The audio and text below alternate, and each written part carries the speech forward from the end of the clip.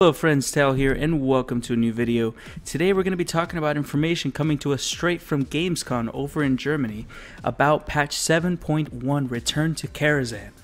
So this is the first time we got any information about any ideas or plans after the Legion launch. Um, and of course they're coming back with Karazhan. It's going to be a 5-man dungeon with 9 bosses, but it's not going to replace the old Karazhan. So as you can see here, they have a little video for it. I'm not going to be able to play it because, you know, I'll get hit by copyright. Uh, but you can see that Moroes is back. The Legion is being invited back into Karazhan. And overall, the video is very dark and, you know, moody, all that kind of good stuff. And you can see here that basically the basic information is that it's going to be patch 7.1. It's going to come back as a large, and they're talking Blackrock Depths large, five player dungeon with all nine bosses. To me, that means like they're just going to take the basic template of the raid and just adjust some numbers and everything so five people can do all the bosses. Uh, but it's going to still exist alongside the old Karazhan. So you can still go back to it, you could farm things, you don't have to worry about that going away. Um, and it's also going to be a small additional raid between the Emerald Nightmare and the Nighthold that wraps up the Stormheim story, which I'm going to go ahead and assume is the story of Sylvanas uh, and her Valkyr that she's trying to do and all that other stuff. Um, very interesting because they, we didn't have this previous knowledge of this extra additional raid. And when they say small additional raid, is that are we talking Sartharion with you know main boss, three optional bosses? Are we talking a um, the well, I don't know. I don't remember the, the name of the raid, but it was the one right after uh, Dragon Soul. That was like a small additional raid to bridge the gap between the story of Lich King, uh, or no, the bridge the story. Not after Dragon Soul, but the one that bridged it into Cataclysm. Uh, so it was after the what was it?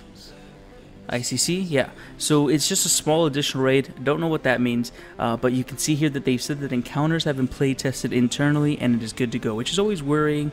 Their play testing internally doesn't always uncover every little thing, so something to keep in mind. But very interesting. They're adding an additional raid between the two. It's going to wrap up the story of the zone. Um, patch 7.1 is also going to have additional outside content related to Suramar and the Nightfallen story. It's going to be out on the PTR right after Legion launches, which is interesting because that means that we have a pretty good schedule for content coming out. And that's basically the, the rest of the thing is that just them giving information about how they want to make sure that they're not rushing expansions anymore.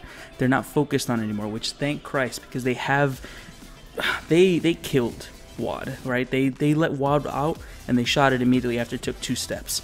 Um, WoD was a bad bad time for World of Warcraft because there was so much hype, there was so much good um, good karma, good good positivity going towards them at the beginning of the expansion, and it died out very very quickly. Um, but their number of priority is making sure that you don't run out of things to do, and they're not going to try to rush an expansion. They're going to make sure there's always content, and raid tiers should last between four to five months.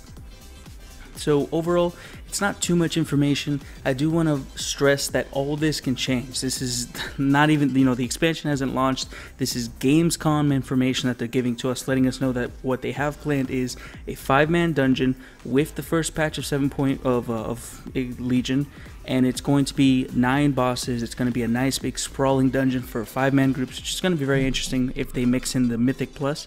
I can't wait to see how that works.